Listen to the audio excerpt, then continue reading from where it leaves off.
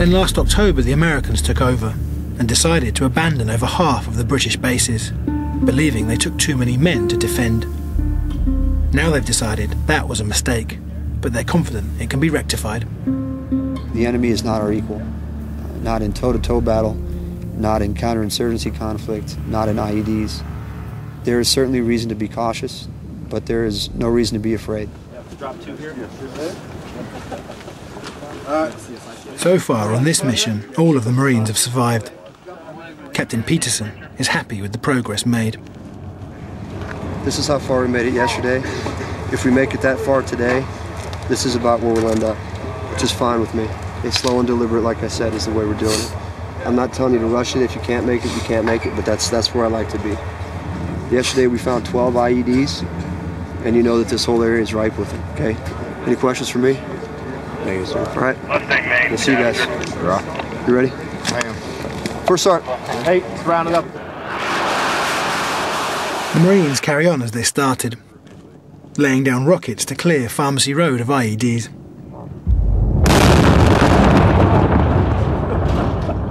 You won't see this in any Hearts and Minds manual.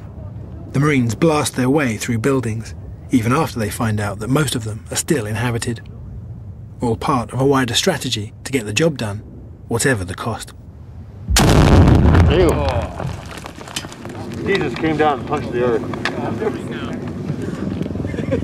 This will continue all the way to their objective, the abandoned British base at the end of Pharmacy Road.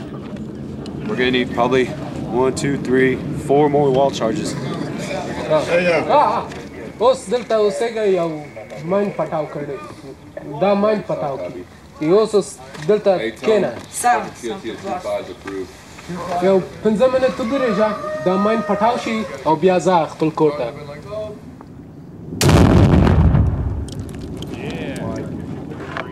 For the first time since the operation began, the Marines broadcast a message to the people of Sangin and any remaining Taliban fighters.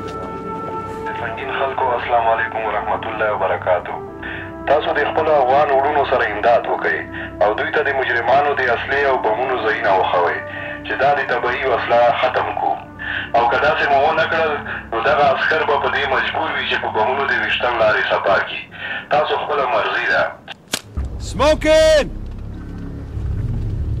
130! The only choice the remaining residents of Pharmacy Road have is to endure the chaos and destruction around them. The Taliban are nowhere to be seen, but the search for their bombs continues. خبر نه موږ په دې- سرای کې د شپې څخه راشي طالب چارته پټ کړه ته پټ کړو د موږ په مخ خو نه پټي دا درب وسی معنا پر خونو مې خونې مې ولرځي چې موږ را باندې وبنل دا وامه څه موږ څه وکړو کومه کومه لار موږ ته نه کېږي چې دا ګره شی یو ځای د کوچنیان چې سره وي دا بل دم نه ګریږي بغاري وي Uh, Sergeant Giles and a few people are left there, sir. So, uh, there's a few more facts. This is where we uh, plan on uh, going firm for the night. So just uh, looking for an. The Marines find a roof to sleep on for the night as the last explosives are fired, clearing more of Pharmacy Road.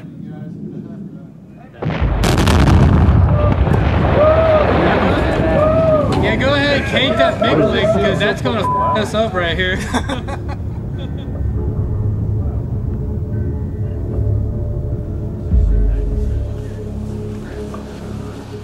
After a freezing night sleeping outside, the Marines hope to reach the old British base by the end of the day.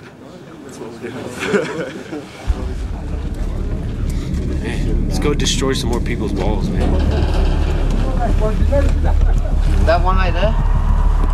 Oh, you talking about those? Yeah, I see. Make sure they're not laying over each other. Alright. Should I refocus the primers on the side?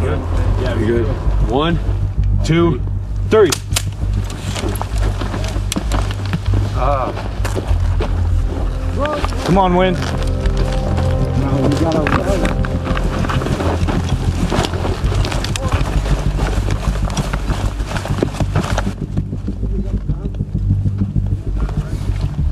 Ten seconds. Ten. We got a building right here. It's definitely a hole, though. Nice hole. Proud of myself. charge like that, Sergeant. It's good stuff. It might be a nice hole, but it shouldn't be there. The Marines hadn't realised there was a house on the other side of the wall, and it was inhabited.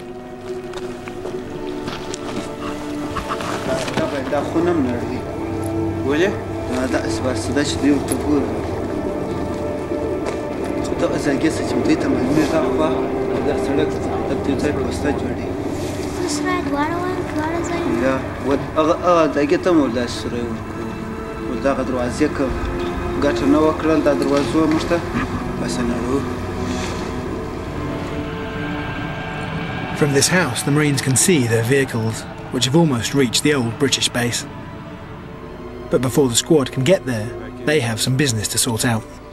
give you a claims card, a card, and all you got to do is go up to the main fob at Jackson on a Monday, and they'll reimburse you for it. Poor guy. Sorry. Hey Rock, we tell him I know it's not enough to like fix his house, but just for the small inconvenience, just say we're sorry. Maybe it'll help with groceries. چې دا خو کمه ده خو بیا د وبخې د ستا دیوالونه ماته شوې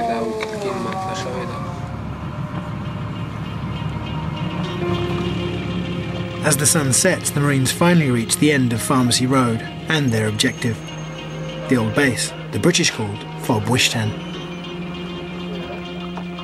It was just 900 metres from their start point, and it's taken three days to get here. Yeah, this is our new place. Yeah. It's great. A lot of concrete. We like concrete. Yes. This is mission complete, right? Yeah, mission complete. Mission complete. For the next, uh, we got 90 days still though, or something like that, to keep our Yeah. legs.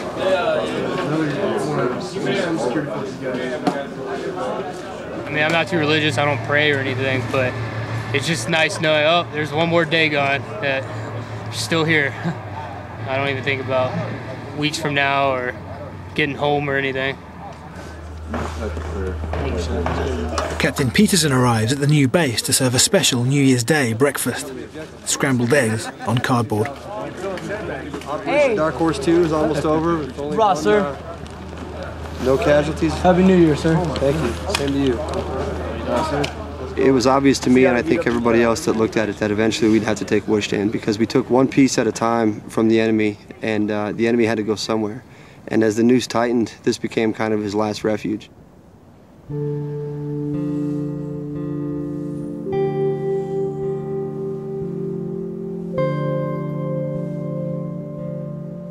the base, British graffiti still adorns the walls. The only trace that our troops were here at all.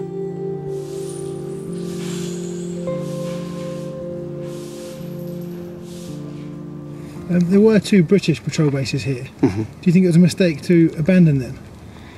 I, I don't know uh, what the criteria behind the thought process was that, that went into that. I'm not sure what the what, what the reason for abandoning was. I know it was a decision that we made not to come here as well. Um, I think a lot of people are. You can spend a lot of time talking about what could have been done better, and everything's clearer in retrospect. Uh, I can tell you, it's definitely the right decision to hold them now. Uh, so, um, so I'm glad that we are.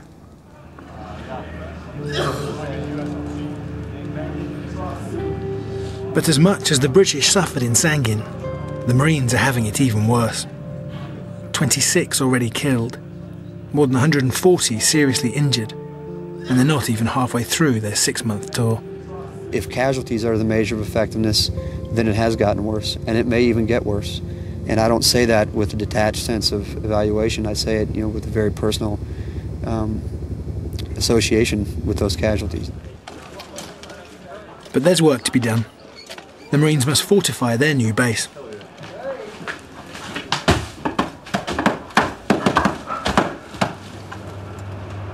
Outside, their colleagues are also working hard, bulldozing the walls and houses that surround their base.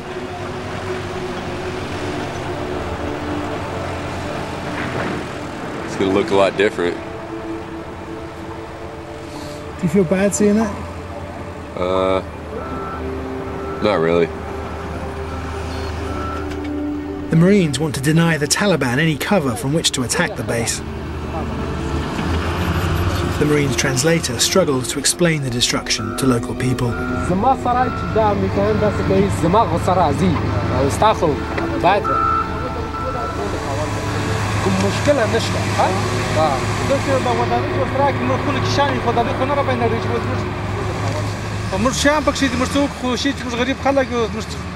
Says you're poor people, you broke all my walls.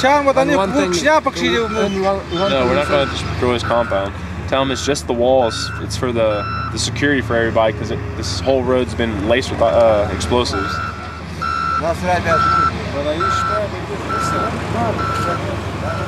I think people understand, as, as we understand, that in order to increase the security on that route, in order to eventually prevent the enemy from putting any IEDs there, uh, this type of drastic steps, these types of drastic steps are, are necessary.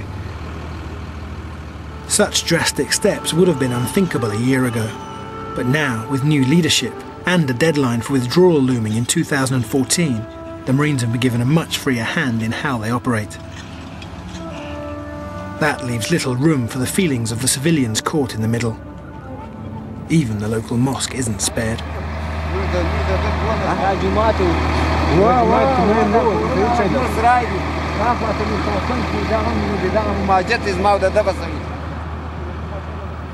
This man just has time to retrieve his prayer mat and a gas heater from the mosque before it's razed to the ground.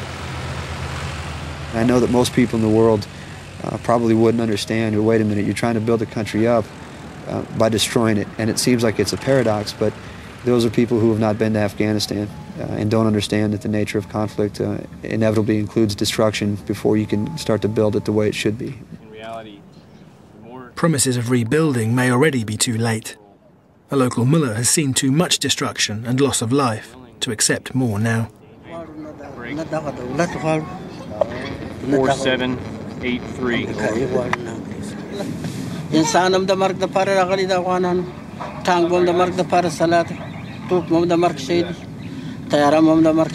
They're going to say a lot of bad things about Marines and ANA.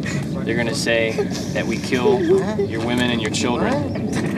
And that's not true. دربین لري په دا دربین کې ورته وګوره چې د دې ملک انسانان دلته خو انسانان وجود لري.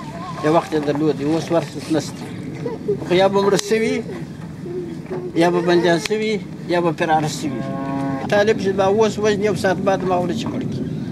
یو ساعت به چې دا ما سي داسې دی به دلته راته ولاړ مګر په هغه موږ نه وژني. د مرګ شیان خو تاسې راوړي The Marines have an almost impossible task in turning around local opinion like this. The people of Sangin have now seen four years of increasing violence. Last year was the bloodiest so far in what is now America's longest war. We're never, never going to quit. Uh, we're never going to stop patrolling. There's not enough IEDs to, to keep us from patrolling. Uh, there's not, you don't have enough bullets to keep us from, from accomplishing our mission. Uh, this is America's longest war. So what? So it's taken us 10 years to get where we are. If it takes another five, if it takes another 10, if that's the price of success, uh, then, then who cares how long it lasts?